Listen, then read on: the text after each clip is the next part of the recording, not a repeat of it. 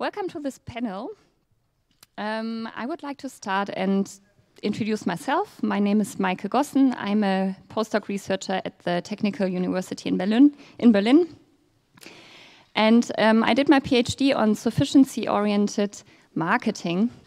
So my own background um, fits quite well to this uh, panel's topic. And the panel is about transformative, sustainable business models. Um, it's quite new and pioneering what we are doing here today um, at this conference because it's the first time that the Bits and Bäume has a, a track on the economic perspective and business models. Um, there are more people joining us, and I'm happy to have you here. Um, uh, yeah, at, at, this pioneering or with this pioneering um, uh, topic. I think we all agree that companies are responsible for achieving uh, the, the, sustainability transformation. And today we will um, uh, we will do a deep dive into successful strategies, um, but also into um, challenges um, these business models face. And I have the honor to discuss these and further questions um, with a panel. Uh, so experts from from research, from from science, but also an uh, expert from practice.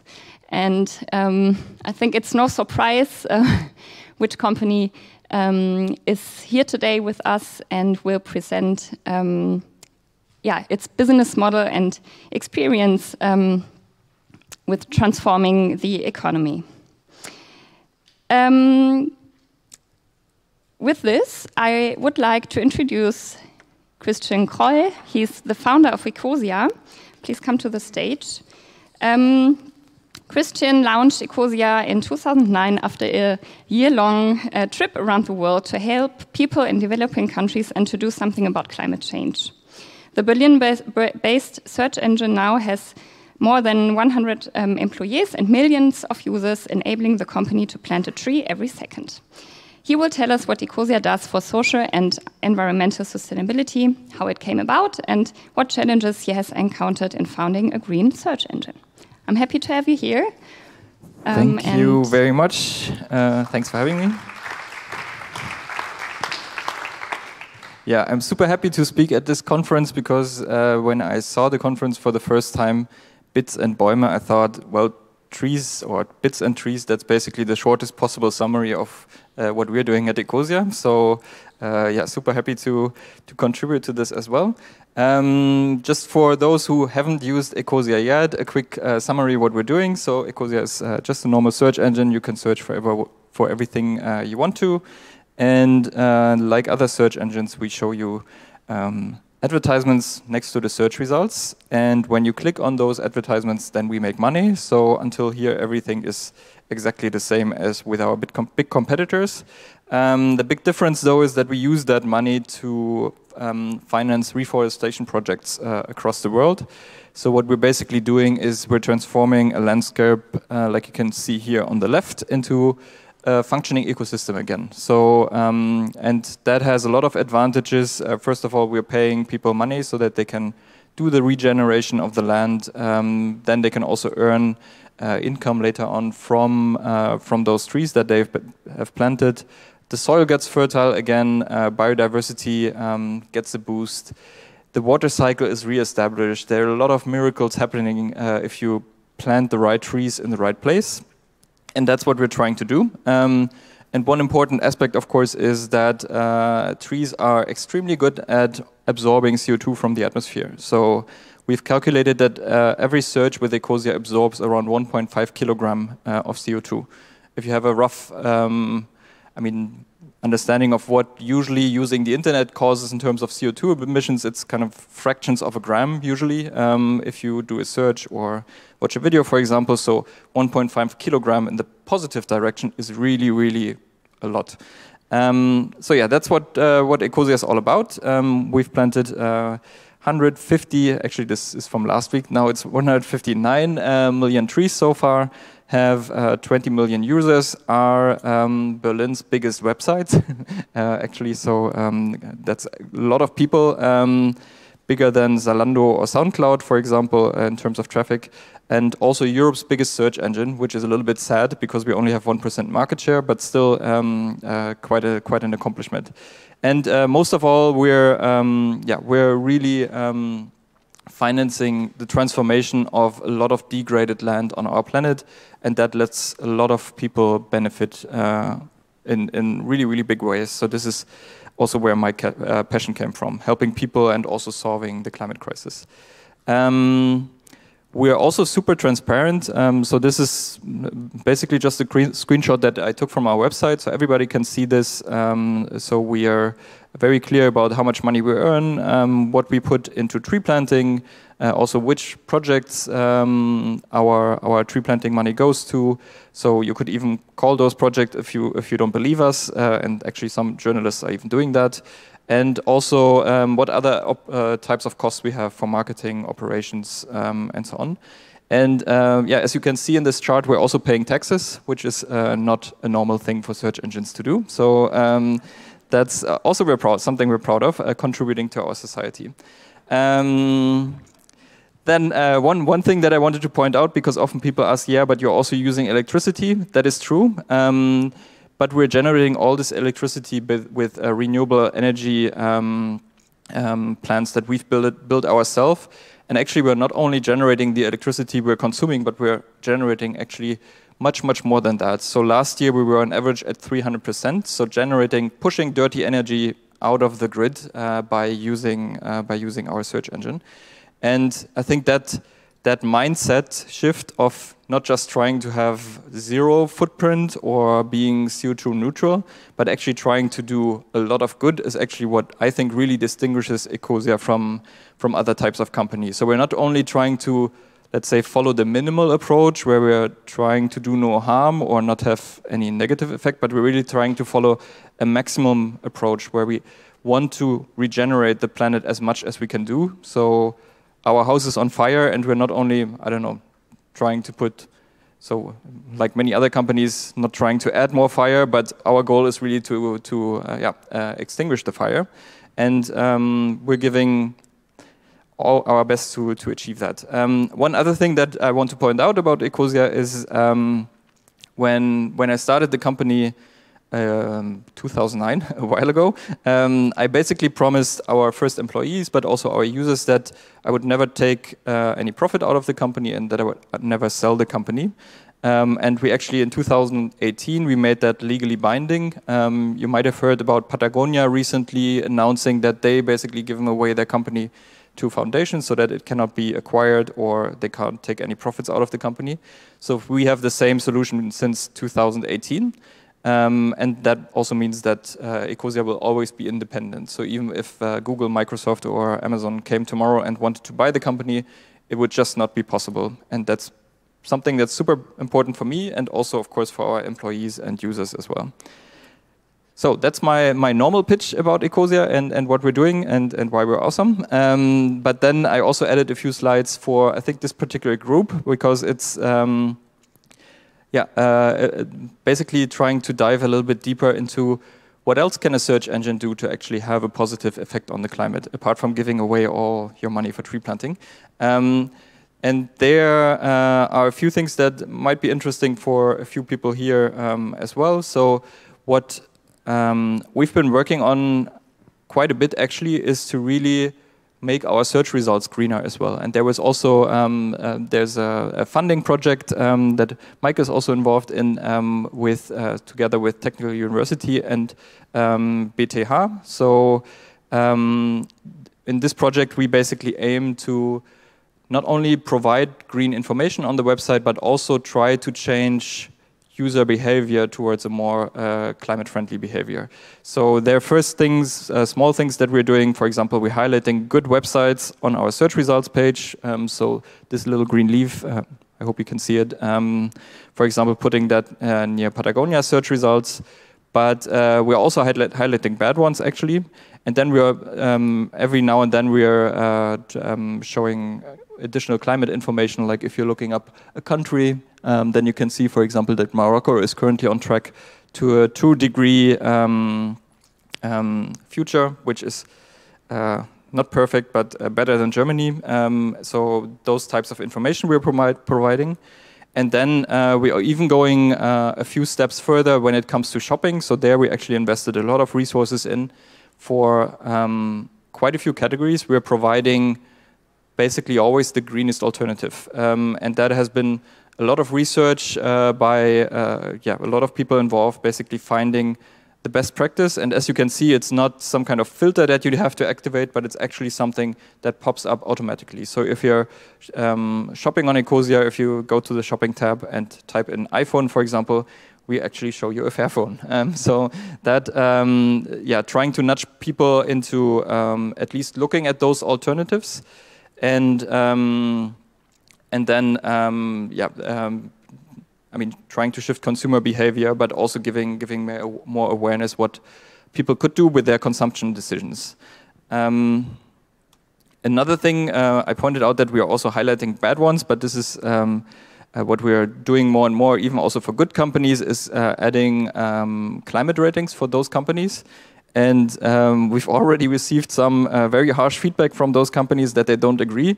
But this is based on external data. So it's not us saying that uh, Amazon is uh, not good in terms of climate. It's uh, external data pointing that out. And we can then basically say those to those companies, um, yeah, complain over there. And uh, how about uh, you just deliver more and then you probably get a better rating as well.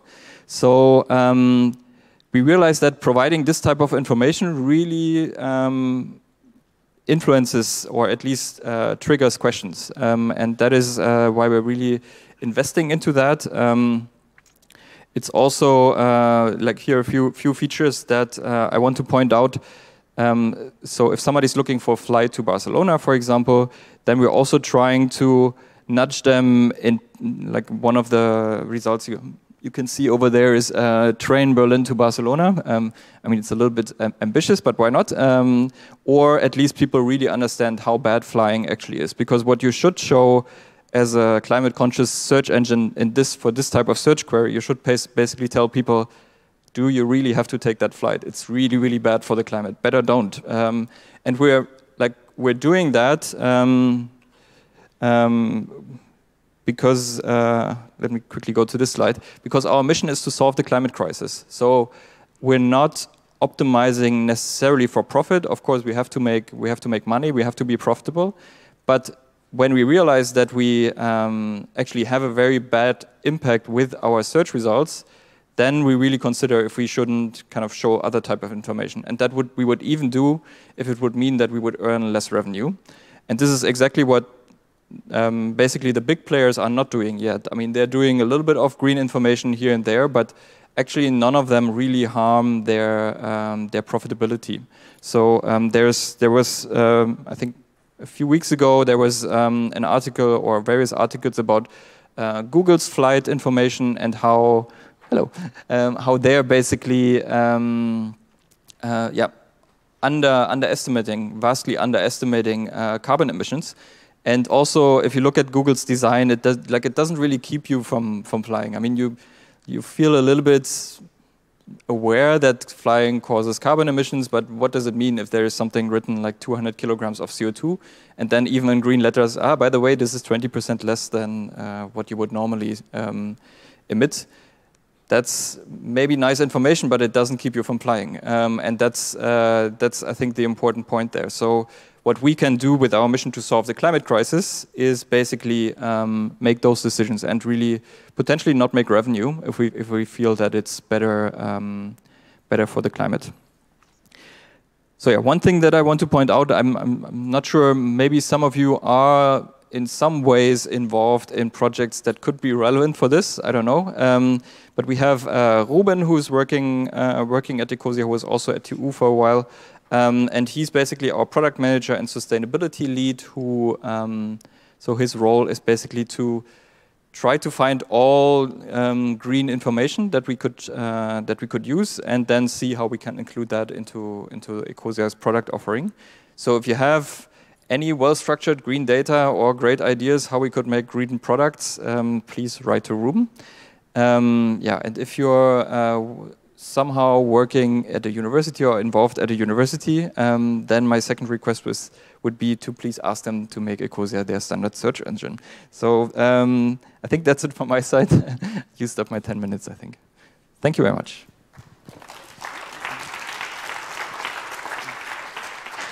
Thank you, Christian, for this inspiring talk. And we now have about 10 minutes time for Q&A. So while you are thinking about your question to Christian, I will raise my, my first question to you. Um, I'm quite convinced from the idea to become a purpose um, company, and I would like to learn more about it. So, how did you um, uh, came this idea about? What challenges did you face? Um, how do you think this could transform the economy?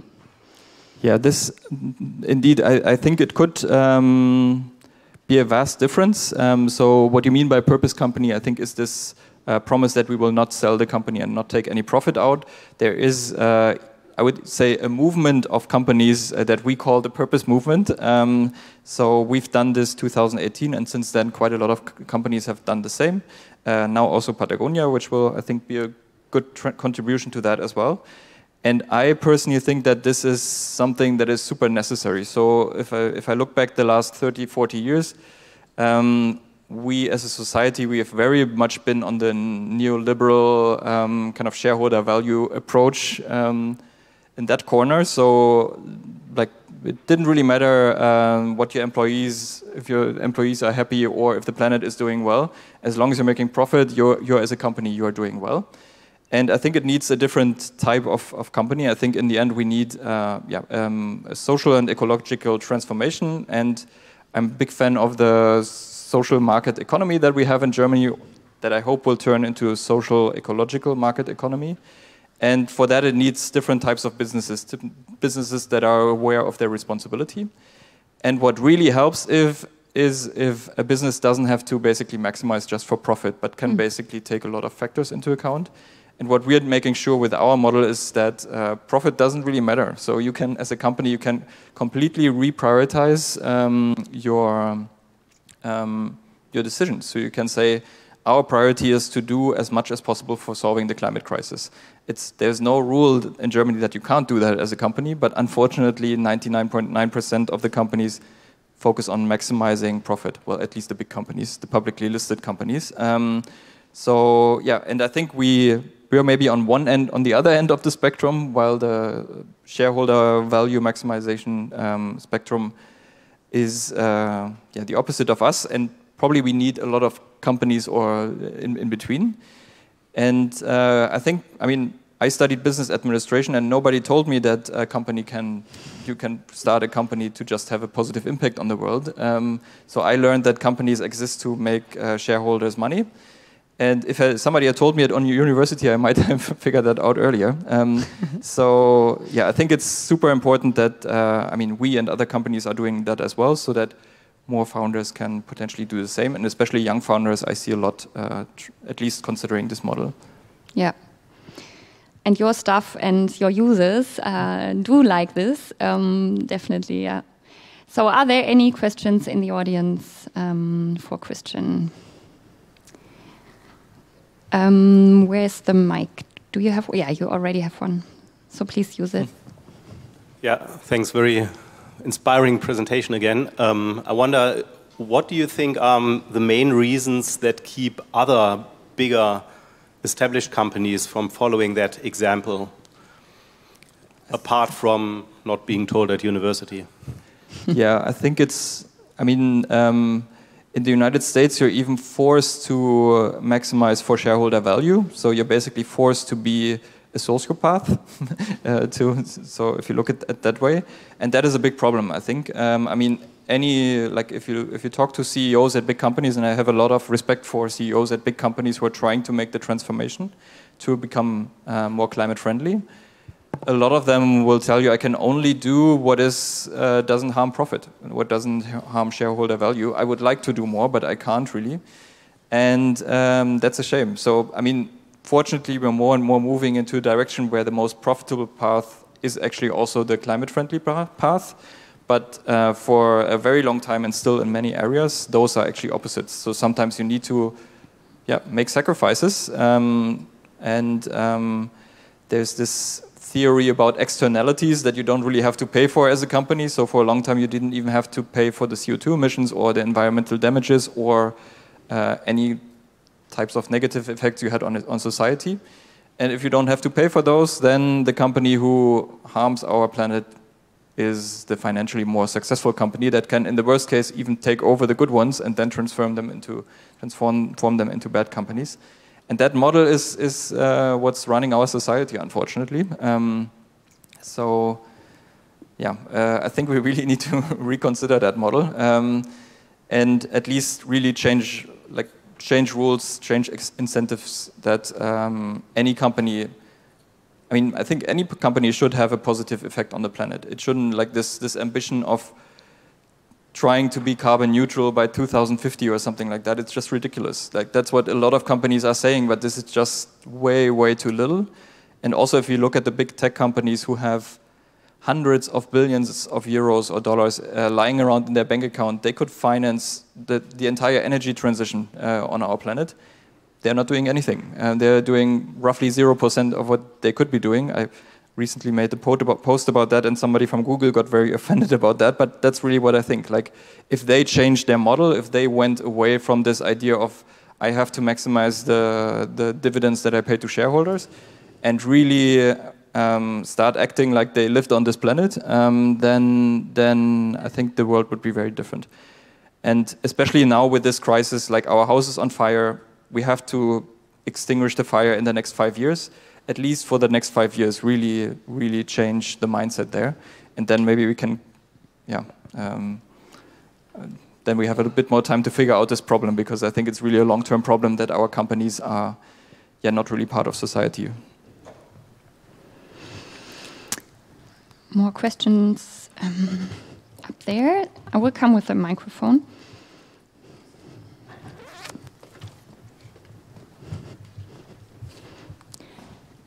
And if you like, you can introduce yourself yeah. just quickly with your name. Yeah, hi. My name is Alessa. Thank you for your presentation. And uh, I actually I wrote down search engine versus activist or engaging software tool with the question mark for myself to do research on it.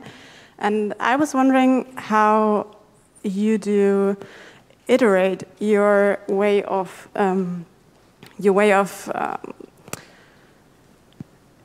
adding those engaging uh, green um, things as, for example, the, the flight Berlin-Barcelona um, um, transition to maybe taking a train. How do you iterate on that from a user experience or service design perspective? And um, do you, or what makes you not caring about the results then? Maybe, because results would maybe tell you to do something different regarding your, your increase of, of users, but yeah. Um, how do you yeah. work with that? Um, thanks for the question. Um, so yeah, we I mean we do a lot of standard practices when it comes to software development. So we do A/B tests and see if click behavior changes, and then I think in, in general also just try to follow an agile approach. So we also developed a lot of features that we released at some point, but then noticed mm, this isn't really something that users want. Um, one of those things were that um, if you were like we developed a browser extension that was giving you recommendations while you're browsing and basically we're trying if somebody wanted to buy a product that was not green on amazon for example we told them hey go buy the green product uh, on another website and that was just too much for users i think to uh, to accept. Um, so we have to be careful to take our users with us. I mean uh, ideally of course we want to go to the perfect solution right away but often like small nudges in the beginning are probably um, the better solution because uh, we also don't want to use our losers. I mean, uh, lose our users.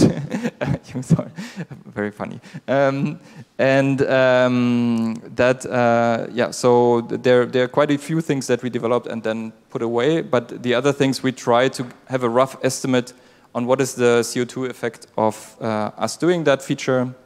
We pick the features that have the higher CO2 effect because you could do hundreds of things. So um, we looked at categories like clothing, for example, hardware, so also where we have good information available and where the CO2 effect is very big. Um, yeah, and then Ruben here is making the prioritization decisions together with our project partners. That's the. Did that more or less answer the question? Yes. Okay, I think we have time for one more question, and I saw you up there. And I think Christian will be around after this panel, so if you have more questions. Um, uh, Hi, um, I'm Alejandro from Spain. Um, I have a few questions. Uh, how much does Ecosia pay for every tree which uh, plants? Yes. Uh, do you want to ask all of them, or so we do step by step? Okay.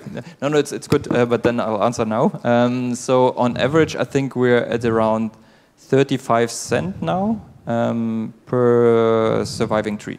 So that means we're planting a lot more trees than we actually show on our tree counter because we only count the ones that are surviving. another one is, is Ecosia planning to create a, a quality level, green quality, kind of related to this uh, way of advertisement green products on the website?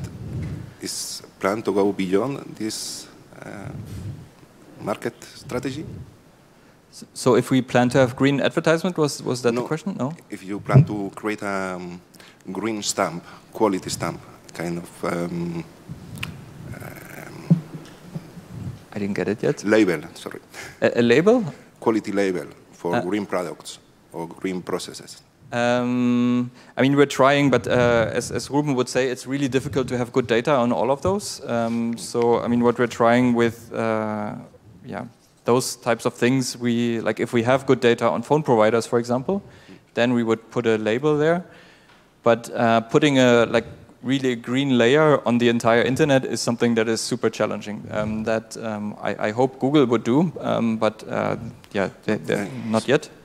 So what I'm referring is like, uh, for instance, these uh, smartphones. Mm -hmm. If when they will be sell, it will be anyhow somehow the Cosia brand on it or the uh, Cosia label. Uh, ah, okay. If we have our um, like go beyond the website. Uh, um, it's it's not really planned. I mean, we've done a few. We've helped a few startups to basically uh, launch their own services, mm. but uh, yeah, running a search engine with 100 people is. Uh, while Google has, I think, 170,000 is quite a challenge already. So we're careful of what, what else we're taking on. Um, but yeah, there's I mean there's a lot of opportunities. We're we're working with with other companies together. I think that that approach suits us more. Um, and sometimes we're even launching or helping to launch other services if we see an opportunity. So sometimes even working with young founders there. Okay, I think we have to stop this here. Thank you again, Christian, for your inspiring talk. Thank you all for your questions. And if uh, you would like to deepen the conversation uh, or discussion with Christian, I think he will be around after this panel. Thank you. Please clap your yeah.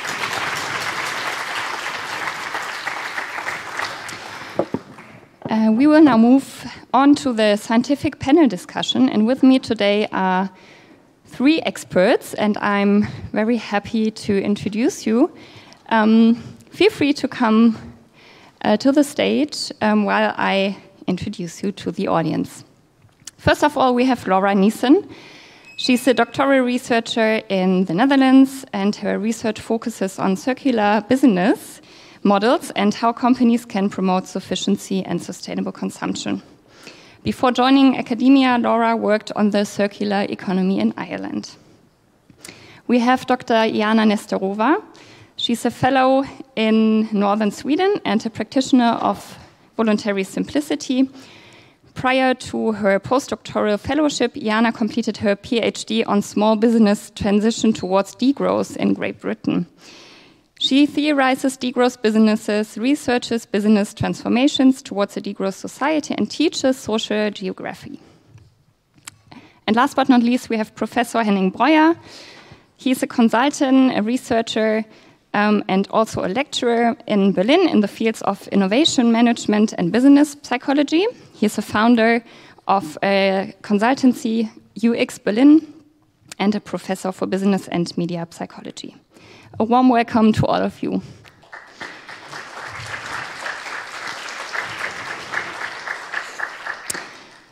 And since I um, don't have a chair, obviously, I have to stay here, stand. So, yeah, I'm sorry for this. I would like to kick off our discussion following up on the interesting um, talk um, and discussion, discussion we just had um, with Christian. I think Ecosia is a great example for a sustainable and values based business model. Henning, uh, can you give us a short intro to values based innovation and sustainable business models um, and their design? And maybe, thank you, um, refer, if possible, to Ecosia. Yeah, thank you for that question. Um, where to start? Um, so, values based innovation management, that's like an approach we introduced a couple of years ago where we said that uh, kind of complementary to the usually kind of opportunity, uh, an opportunistic search for new market gaps, new market potentials, and so forth, uh, we need a more values based approach to uncovering new business domains. and what we then developed in that tradition is, uh, first of all, attend to human values in the context of business right? And uh, role they play in taking strategic decisions. So, for instance, if uh, in the case of Ecosia, a colleague of mine just uh, had a very nice paper published on that, a very comprehensive case study where he looked into the six core values uh, that Ecosia has, right? Uh, values like sustainability, but also impact and integrity and looked into how they play out in establishing and developing the Ecosia business model. And then we see, well, uh, this is not an easy task always. It's not always predefined. For instance, uh, I remember there was the a request from an, I think an energy fossil fuel energy company to collaborate uh, with a green search engine, and um, so there was a debate in how far might this company use Ecosia just for greenwashing its own business activities. On the other hand, um, following the value of impact, they could say, well, if all the employees of that company and all their customers suddenly use Ecosia, we can plant a whole lot more trees. In the end, the decision was taken against the impact and for the integrity in that case. So, I mean, even when you have these uh, values in place, it's still an ongoing effort to elaborate on that. And first thing we acknowledge is that every individual, every company, every organization has some kind of values in place, right? That might be a priority for shareholder value, but even if that is the priority, there are also other values in place, right? And all companies have mission, vision, purpose statements, and so forth that also give a direction in um, in their marketing, in their hiring, but unfortunately not always in the way they drive innovation. And uh, so this is what we're looking into here in when we talk about values in the context of innovation. And that goes a little bit against the more narrow view where we talk about the economic concept about value creation that is even then spreading to the sustainability domain where we talk about social value creation or environmental value creation, still with a kind of economic mindset um, in the background. And uh, what we're saying is that uh, the traditional model is you create a certain value for your customers. They can find interesting search results. Uh, you create a value for the organization because they make revenues. And you create some uh, value to society because you pay taxes and uh, pay salaries. So uh, create employment opportunities. But if we want to be serious about like sustainable business models, we have to go beyond that and look into a broader range of different values and a broader range of stakeholders uh, in that context. Yeah. Great intro to the um, topic of our panel. I would like to ask you, um, Iana, what is the focus of your research and um, how or what is the um, uh, the connection to the sustainable business model topic we are discussing today? Yeah, thank you so much for this question. I think it's really beautiful in a way. And uh, so, my research since 2016 has focused on uh, degrowth business.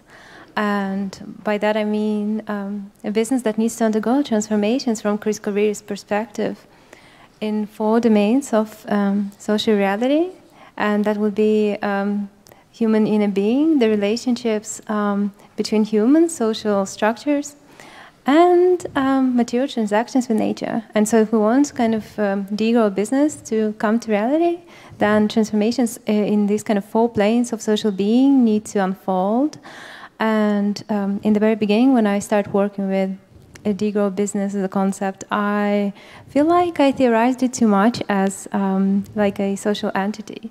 When now, uh, in more recent works, I see degrowth business more as a process of um, navigating capitalist landscapes. And um, quite often people ask me, is this degrowth business, Patagonia degrowth business, is Ecosia degrowth business? And I think um, it's very, um, it, it, feels quite uncomfortable if I uh, would label a business as either or, as a degrowth business or not, because I feel like it's much more productive and interesting to kind of have this kind of discussion uh, in which domains is it a degrowth business and in which it's not. So personally, I don't believe that businesses cannot be part of degrowth. So I feel like I have a much gentler approach to that. So I'm very impressed actually at um, what companies are doing. And even though they are embedded within a capitalist system, and personally, I would not want this system to exist, but at the same time, they do also their best. And uh, I think we can, of course, criticize companies based on some things that they do,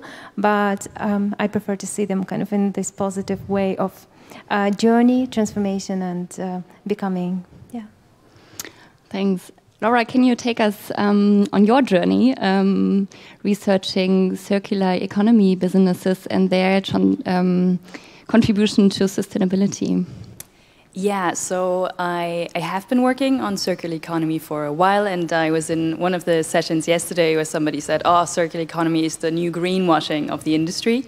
And I think there's definitely that danger that circular economy might, while it has really useful ways to contribute to sustainability, also be taken over by policy, taken over by, by big business, um, because we do not really know the actual impact of circular strategies, and we know that the likes of recycling, which pretty much everybody does, is not enough. So we really are trying with the circular business model research to push people towards what we call the better versions, the higher ladders of the waste hierarchy, which is really reducing, in the first place, that resources are used, reusing items, repairing, potentially rental, and that's maybe where my own research uh, comes in a bit more. So I look into sufficiency in circular business models, which means how can companies help their customers consume less, which might be a bit unusual as a starting point, but we know that companies create demand. They put out advertisements, they create products, and they make people want to buy things, which reuse resources. So on the other hand, we also see that they do have the responsibility to rethink if I offer this reuse option, if I have this rental service for clothing, does it actually make people consume more? Because that does happen. We see the likes of the vintage clothing getting very popular. Vinted might be an example that's very big. And people still consume, and they still consume fast fashion. It might be secondhand, but they still keep buying new things because they still want to have the newest things and cool items. So there's really interesting business models that specifically look into sufficiency and that consider consumption as well. And just two examples that I personally like. Um, one is Homie, their washing machine rental, and you pay per wash. But if you wash at a lower temperature, so if you wash at 30 degrees, it's actually cheaper than if you wash at 60 degrees, because that way you're enticed to wash at a lower temperature, which is more energy saving.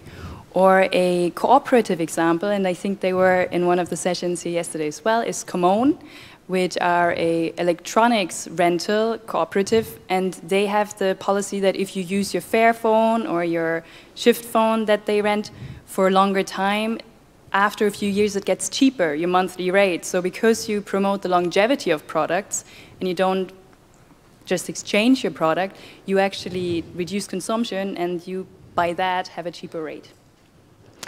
That's very exciting and interesting, and I would like to um, come back to the sufficiency business models later. But first of all, stick to the circular economy. and my question would be um, uh, if you think that di uh, digitalization has an impact on these business models, and in which way?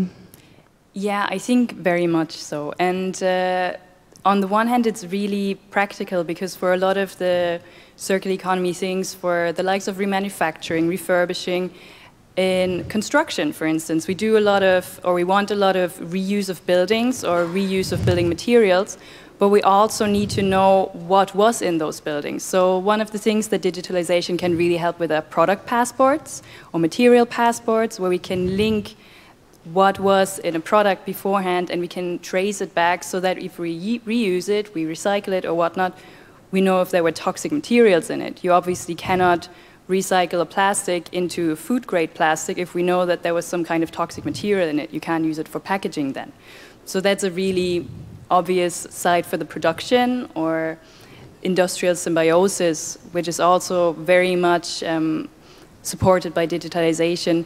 But also, I think for the consumption side, we see that a lot of the repair, um, DIY repair as well to a certain extent, or reuse is really supported um, by digitalization, by connecting, by offering repair guides online, by being able to get the blueprints for spare parts if something breaks in your items. So there is a lot of potential for digitalization to help circular economy but obviously always taken with a pinch of salt because we know that it can also lead to people consuming more. So just being aware of that. Yeah, coming to the risks, um, um, Iana, I read in one of your publications um, that you propose small and especially low tech uh, firms or entities as agents of sustainable change. Um, based on this work, do you see digitalization more as an enabler for sustainability transformation or more than a, than a risk? Uh, well, yes, I did write that work, but uh, I think that I feel still good about that because um, I felt like it was fair to problematize the role of technology and the role of digitalization, for example. So um, I think we should ask such questions uh, whether um, digitalization and technology generally or high technology is always the solution. And I personally believe that uh, it really depends. that it's not really that binary. That, uh, for example, that we need a, an extremely low tech uh, technology uh, because there are such proposals of going back, for example, to being hunter-gatherers or going back to 12th century technology, and um, they come across as more kind of fiction writing, to be honest, even though they are philosophical discourses. But um, so for me, I think um, it's very important to ask ourselves.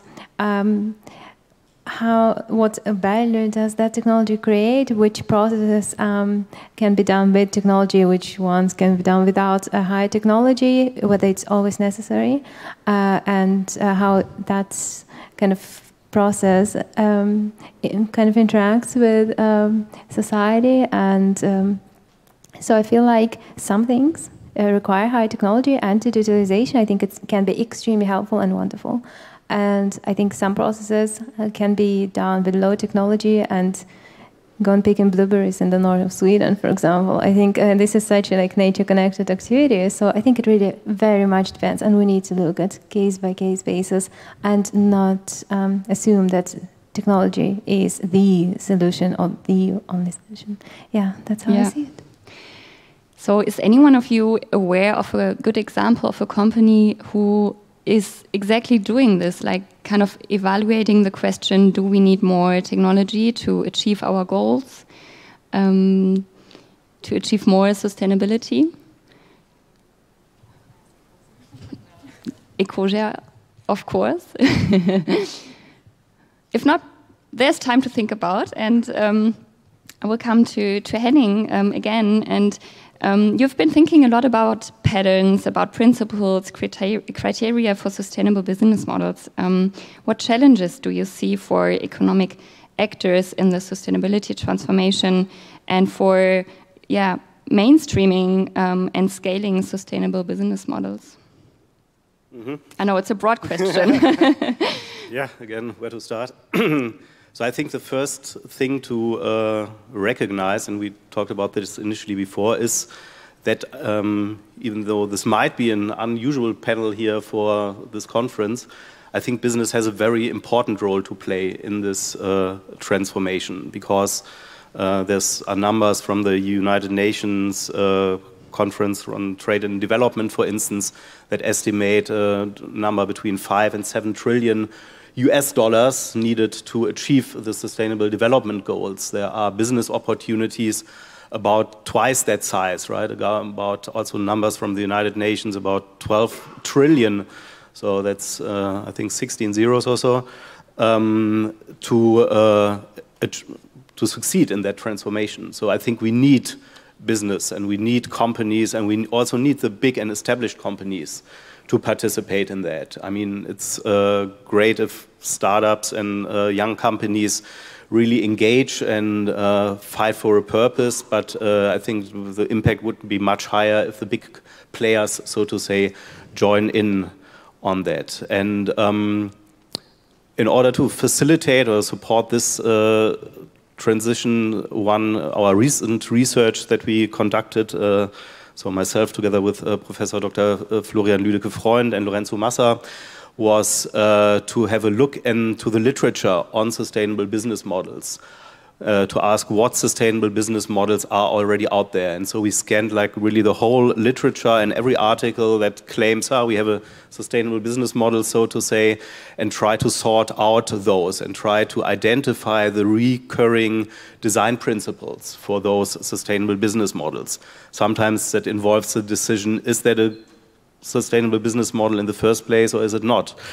Um, and this is what we described as patterns, right? So patterns in that sense are, I mean, many people may know that from software engineering, right? So uh, design patterns for software. Here we applied that to business models and try to understand what are recurring challenges in a certain domain. For instance, we need to provide a certain service for a neglected group, yeah, of uh, users, and we need to increase accessibility, we need to promote green mobility, for instance, right? Uh, so we have these recurring challenges and then we have recurring solutions addressing these challenges. And these uh, are what we described as such business model patterns.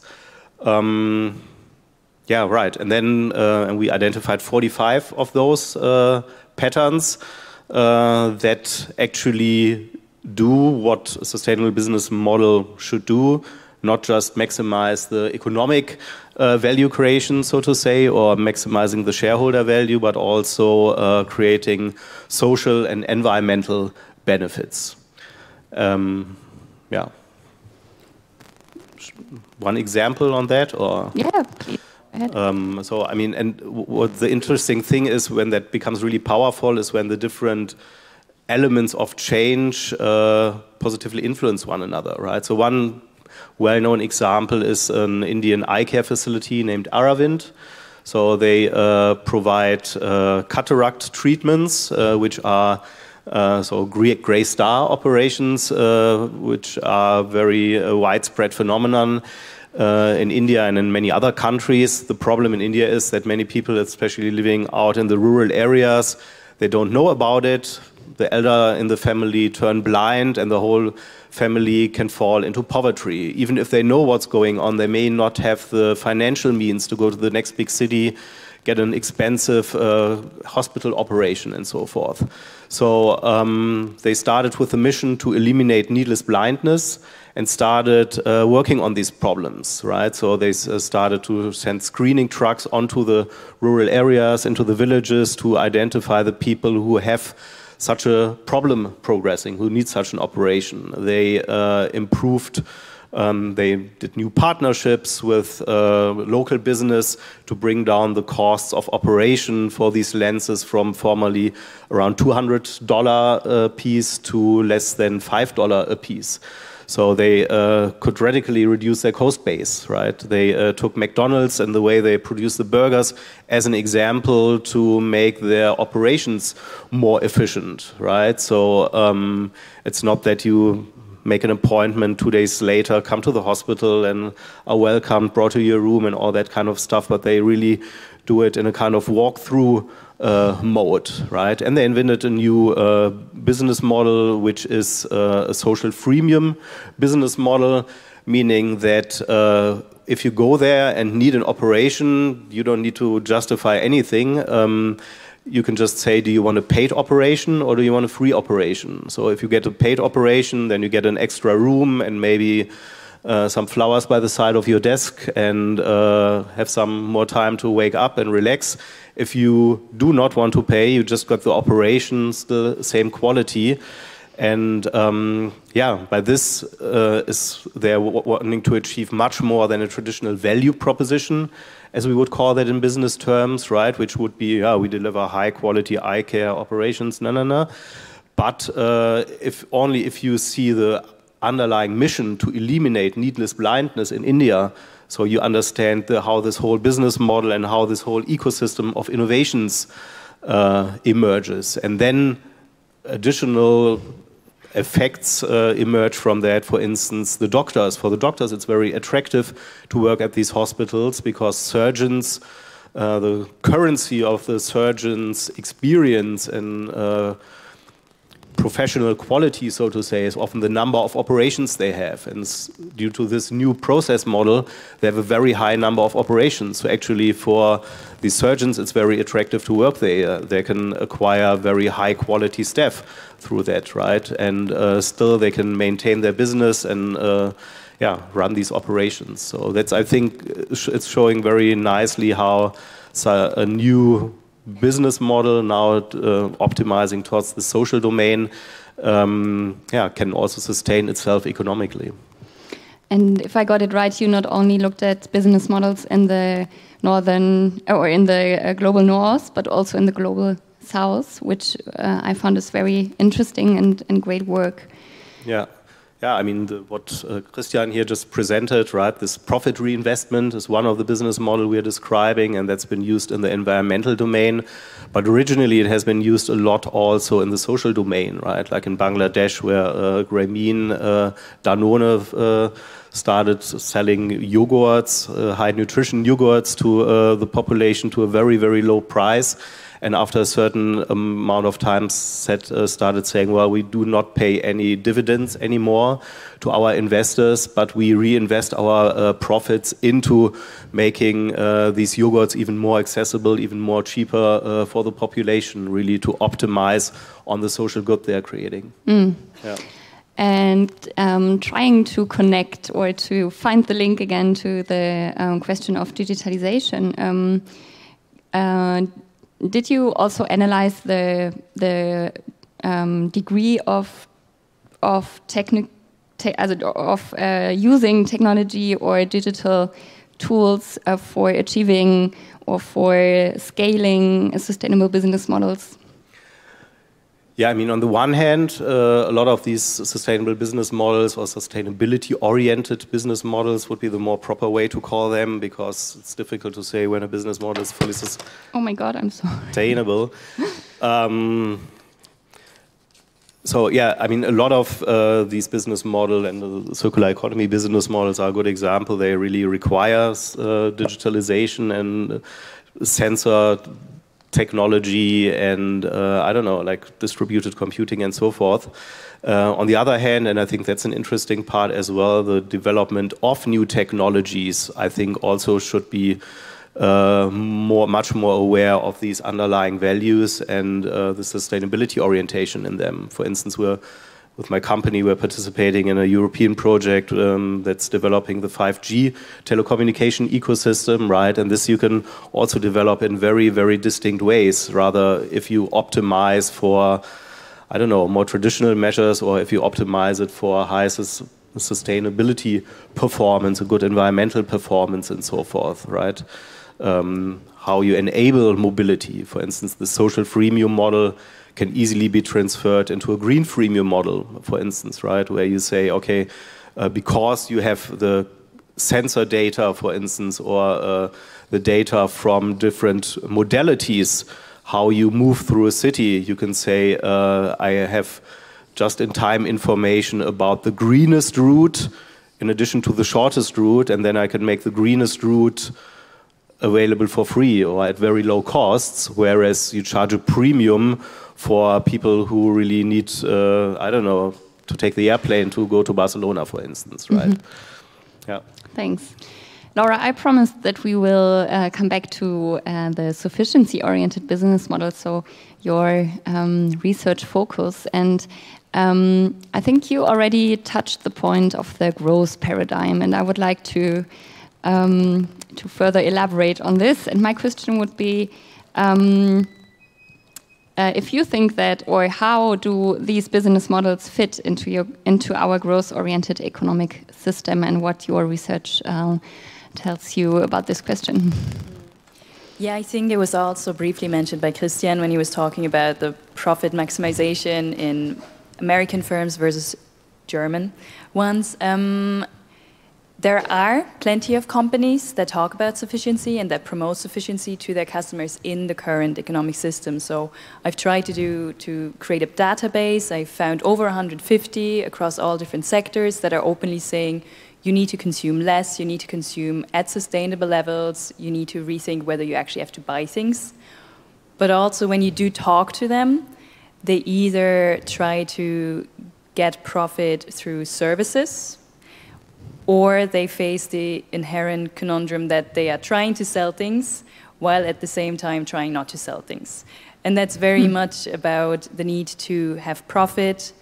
Um, but it, at the same time, you could stop if you cover costs, right?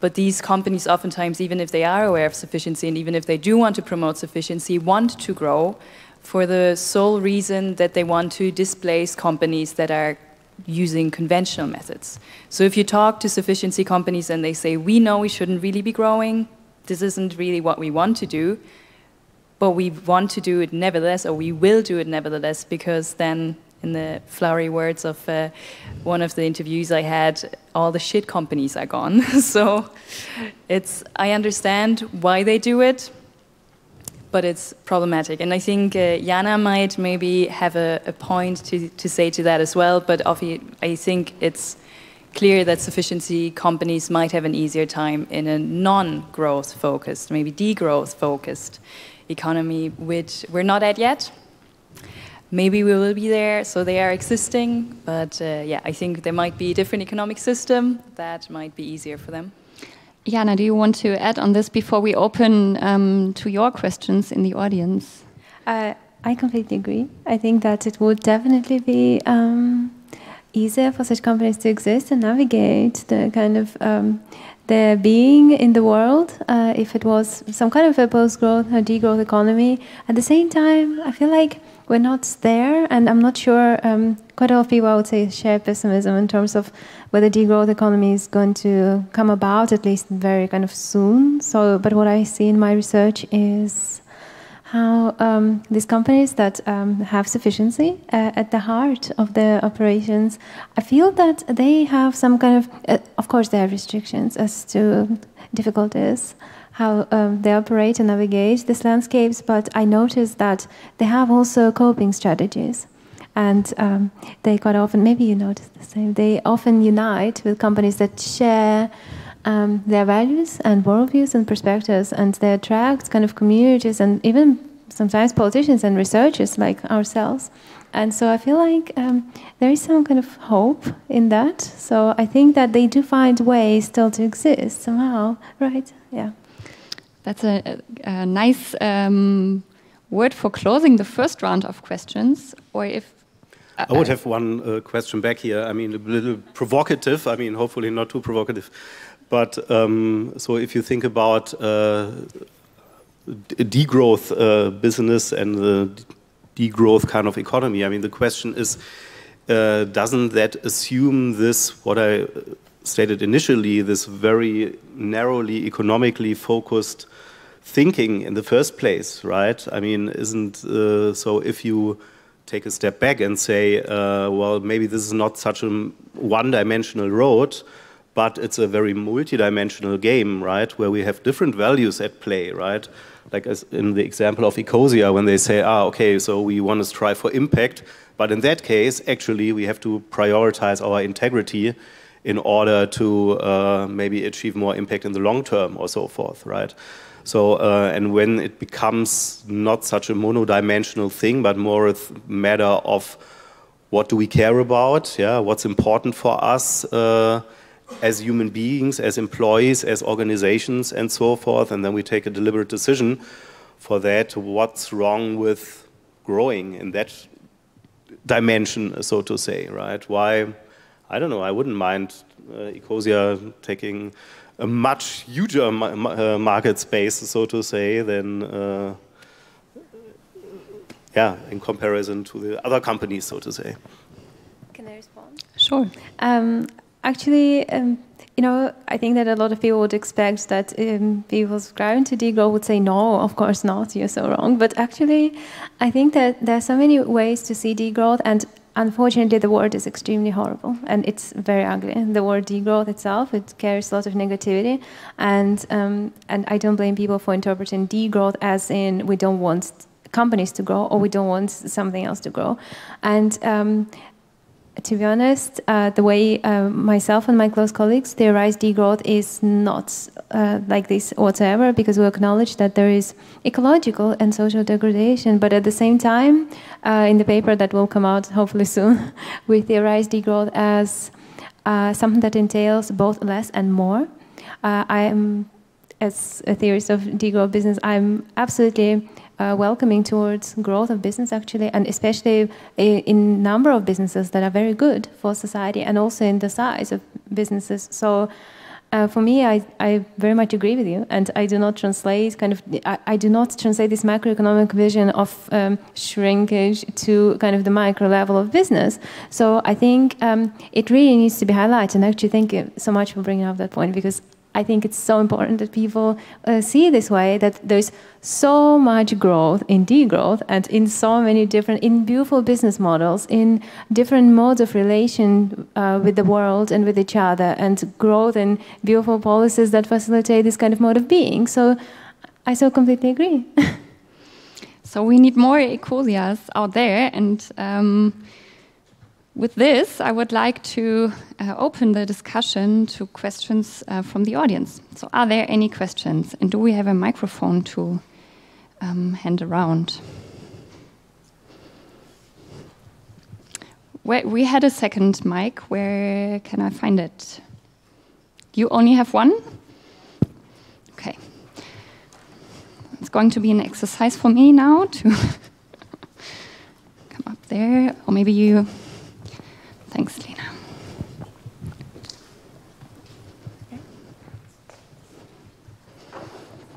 Thanks. Thanks a lot for this um, discussion that um, went on a number of points like um, optimizing business models and degrowth and circular economy. Um, I would like to return maybe back to the point that Christian made about the profitability of companies and to what extent that is necessary. And uh, uh, especially saying, because Christian was saying that um, there's mainly American companies, and you were stressing this as well, American companies going on the shareholder value in terms of they must make money. It's actually the same in, in, in Germany. There's the AG Gesetz, there's the GmbH Gesetz that actually uh, commits companies to make money. And it was a very simple question why don't we, or uh, civil society, or politicians then in the end, uh, not just uh, abolish this law, not the entire GmbH Gesetz, but this very point that a company needs to make a profit um, because then uh, that would certainly enable the, uh, the, the, the, way of uh, impacting uh, a company uh, being a member of society in a much more valuable way as the purpose companies do. Okay, thank you. Who wants to answer on this? Thanks very much. Maybe just for an initial answer, and then there might be other um, opinions on this. I very much agree. There's uh, research. You have three researchers here. There's research on um, the fact that we need to change the governance structures in companies if we want to move towards sustainable business models. So, if we have for profit businesses, in how far can they consider environmental and social values when they operate? And um, there's really interesting work done in Sweden by Jennifer Hinton, if you ever want to look it up, who looks into B corporations, into cooperatives, worker cooperatives, um, customer cooperatives, and tries to show whether that would be better governance structures in order for business to move towards less need for profit and more for environmental and social value creation as well. I don't know if uh, Henning or Iana have any thoughts. Yeah, actually, I'm. I mean, I'm not an expert on these uh, on these GmbH laws, um, but as far as I know, I mean, there's nothing forcing corporations to pursue this one very monodimensional uh, maximization of shareholder value strategy. Um, even in the United States, um, I'm not so sure about that. There's a actually there was an initiative in 2019 from the Business Roundtable it's a um, collaboration of 200 leading US American firms uh, that gather once a year, right? Uh, and all the big players, all the big companies like General Motors, Apple, I mean, they're all part of this club, so to say. And for the first time, and they had, uh, they had the statement on the purpose of the corporation. And uh, all the years from the 1990s, when they started first publishing that annual roundtable report until 2018, 2019, uh, they always had this credo to say, ah, we are dedicated to increase uh, our shareholders' value.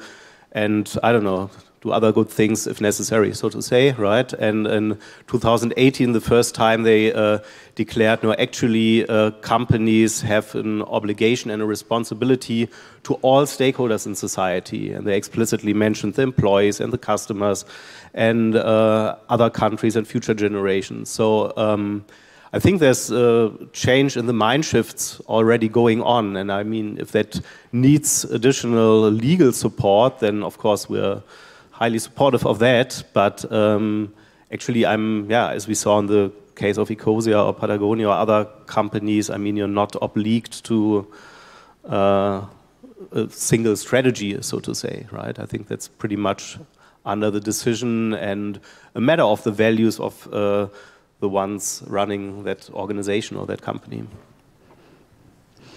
Thanks for your answers. Are there more questions up there? Dina, can you go? Um, I think just at the top. so now it's you exercising. Hi, um, I'm Laura, and I'm also doing research on sufficiency business. And I have a question to Iana. Um, at the beginning, you said uh, you understand businesses as a process. Um, and I find that very interesting. It's also some definition I have of business in, in my research. Could you elaborate a little bit on this? How, how, what kind of process? How you understand that? And maybe have you published something about this this view? Um, actually, my reflection on your question is that uh, you know when I theorized my uh, business as like as an entity or identified some kind of practices and principles that it needs to have, and then I went into the field, and then that's when I realized actually that it, it's just not the way it is because I can theorize all, all I want, but then um, but then businesses are very much real life entities. And so for me, I started seeing from the field how it is a journey and the process is not necessarily predefined in any way. And it just, I think that it's a shift from kind of being to becoming and uh, the interrelation between uh, the business and its surrounding environment and that environment. And that's where I think geography really plays such a big role because that environment is this kind of constellation of uh, structures of natural and, and, social structures. And so this kind of i think that uh, if i have to think about the process and like elaborate on that in a way i think that we should as researchers be playful with that and like learn from those companies how they navigate it what they do. Because i think sometimes they know even more about the processuality and kind of the nature of that.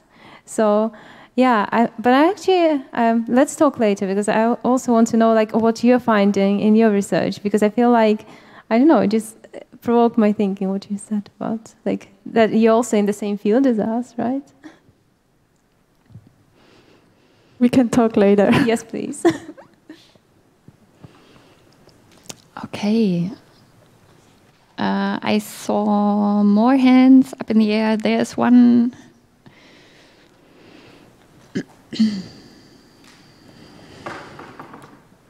Hi, thank you for the very interesting discussion. Um, I'm Carmen and I'm doing research on the role of organizational culture in sustainable and digital development in small and medium sized enterprises. Um, and what I'm wondering is, for example, the EU and their new recovery plan, they have especially said that small and medium sized enterprises are a key change agent for achieving a more digital, sustainable, and resilient economy and society. And we have all these frameworks now, we have uh, these concepts, which is very good. But I'm just wondering, how do we speed this up? Like, what do we need? Because if we take this time to do the cultural shift within the companies, which then takes time to settle down there, then takes time to get into society, to make people consume less.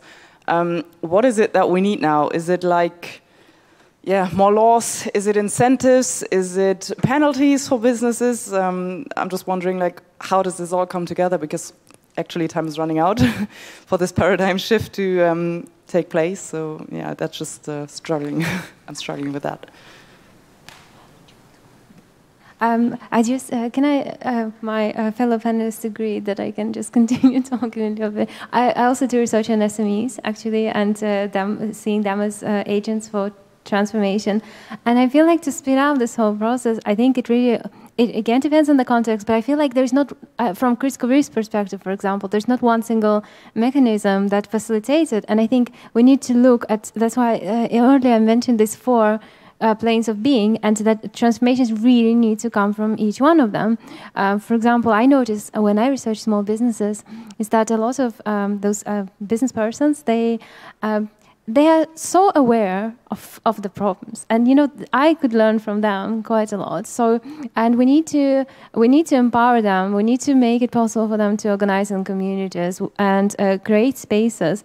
Then education uh, earlier we heard that uh, business schools are extremely narrow-minded quite often. I was in a business school for a long time. And so we need to change education. We need also, uh, earlier you mentioned Jen Hinton, and um, um, she works with uh, Professor Max Koch, and uh, he introduced something like a virtuous policy cycle and how, and he kind of outlines how all the policies interrelate. So we need to introduce, um, for example, maybe we need to simplify some of the policies. We need to uh, introduce regulations that make a better business possible. We need to introduce maybe maximum income so people are not as obsessed with some kind of, you know, this standard definition of success. So I feel like there's not like one single thing, right? I feel like there's so much that we need to facilitate it. Do you want to add something?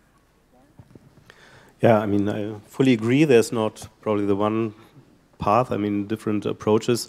I mean, the one that we were trying to work on was uh, with the sustainable business model patterns, right? To provide those to startups also and to young companies in order to pursue a more sustainable business model from the start.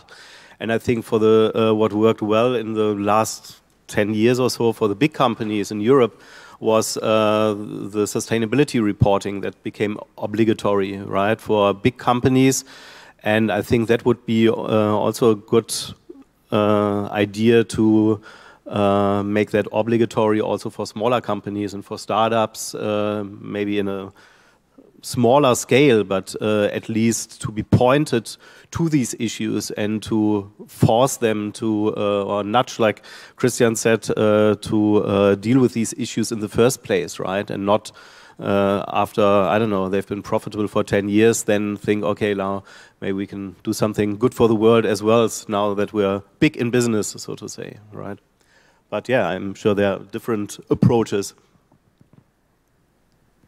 I entirely agree with what has been said, but just maybe to give a bit of a hopeful perspective. Uh, I know what you're saying, the time is running out. We've heard our houses on fire, so what do we do? And I think I personally very much believe in people power. So on the one hand, there there is this kind of research into social movements that guesses that around 3% of society need to actually take up a cause actively, and that can turn an entire society. This is mainly based on revolutions, and I'm not saying we need a revolution necessarily, but it's a hopeful number. And you wouldn't believe the amount of CEOs of big companies that have started thinking about sustainability because of their children coming home saying, Mom, Dad, what are you doing in your company? for us. So it is really about education, but we also have a really, really smart young generation already going to the streets every Friday. So we know that there's definitely a lot of people aware of this, really worried about this, and I think in addition to policies and business action, that's a big thing that we need to consider as well. Okay, the, we still have time for another question. Yeah, and there's one in the front.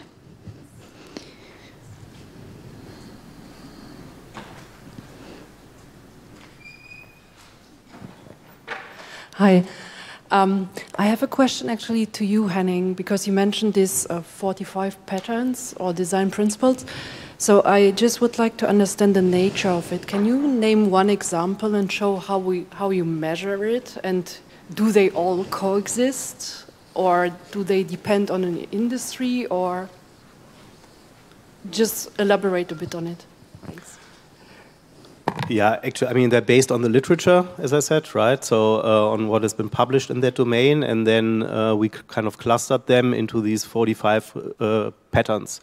And they are quite individual, so to say. We have 11 groups. One are more dealing with financing, one are dealing more with, some are more with eco efficiencies, others are, I don't know, with more with accessibility, bottom of the pyramid uh, issues and so forth.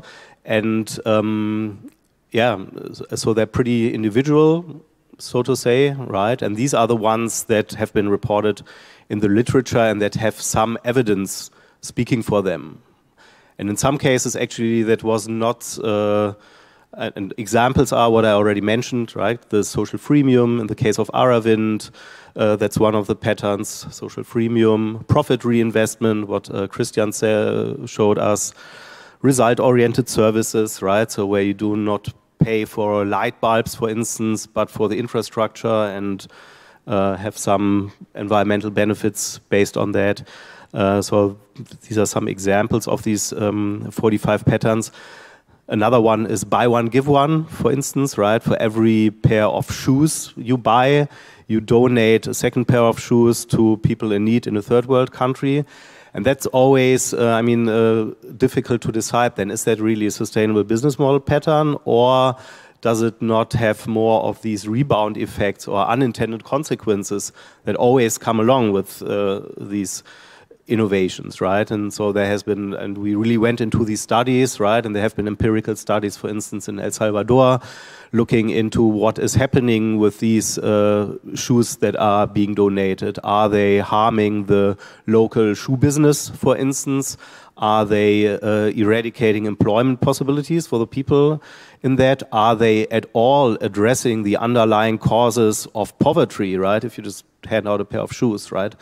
And uh, so there has been modest, uh, not significant uh, empirical evidence for doing that. And actually, the company Tom's Shoes, who initiated that, then went on to, uh, yeah, addressing more of the underlying causes of poverty, right? Providing clean water, providing improved healthcare, and so forth, right? So for every pair you buy, you don't get another pair of shoes, but you invest in some development projects of that kind, right?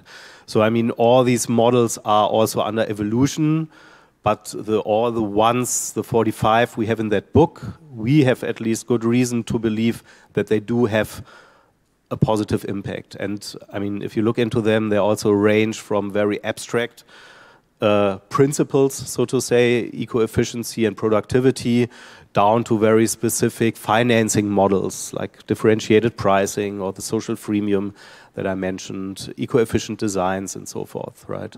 So there's a whole range. But in the end, I mean, you have to decide it for every pattern and for every business environment, actually. Even Ecosia has been under criticism, right? Uh, Christian said now they're not only looking at the number of trees they're counting, but uh, do they survive? Next question would be how long do they survive?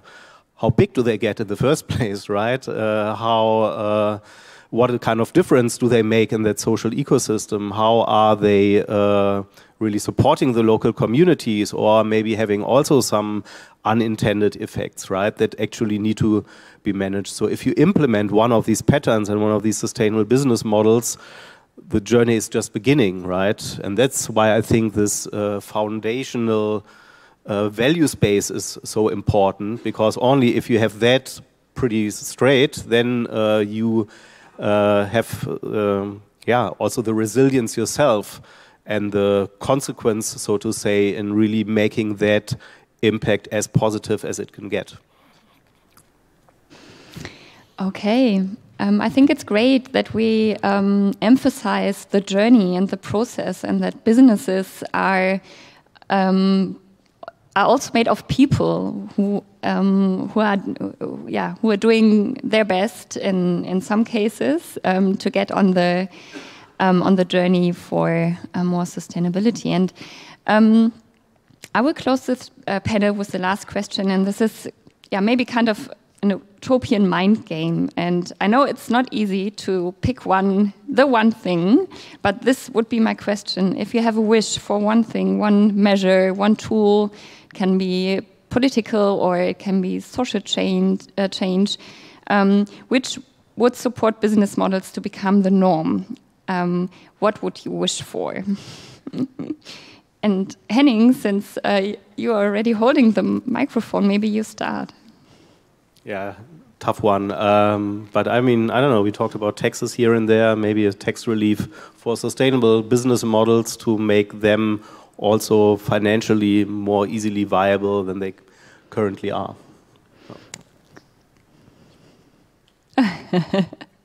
I'm, uh, I'm actually following up on Henning, but uh, maybe going a bit further. So there is quite a bit of uh, discussion on changing taxation from labor to resources. So instead of taxing your working hours, which currently finances our social system, the idea is that we tax whenever resources are being used. That means that on the one hand, resources become more expensive, which means that people might use fewer resources. But on the other hand, the handy side effect is labor becomes more affordable. And a lot of things like repair, remanufacturing, refurbishment require a lot of manpower. So while you might want your washing machine repaired at the moment, it could be cheaper to get a new one. That might change then because the work in those services might be cheaper while the resources are more expensive. So it's one, one way, and it's maybe a bit utopian, but I think it's not a bad way to look at it.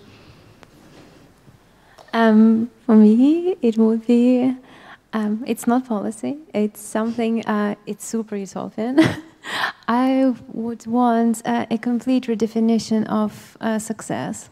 What we mean by success in society. I feel that quite often this kind of more mainstream agenda is being pushed, as in, you know, in business schools, for example, that success, um, you can reduce it to profit or possessions or something, and that very much relates to uh, what I observe in um, businesses that I research. I ask them why, the business persons, why they do what they do differently, you know, why they forego some of the profits and, you know, why they step on the journey in the first place. And, and they, you know, they, they just have a different worldview you know, they pursue success in very different terms. And I hope that, um, you know, and I can, as a practitioner of voluntary simplicity, I can very much relate to that as well. So I wish uh, there are some kind of, I don't know, either some kind of um, self-reflection or some structures, or maybe both, uh, some structures in place that uh, facilitate this different mode of being in the world, different uh, mode of relatedness with yourself, others, and nature. Yeah. I think uh, that's great uh, closing words. And with this, I um, thank you for um, your good questions, your interesting questions, um, uh, for your interest in this panel. I also, of course, thank you for your inspiring ideas and discussion. I thank Christian for your talk in the beginning. And um, yeah, maybe a little applause.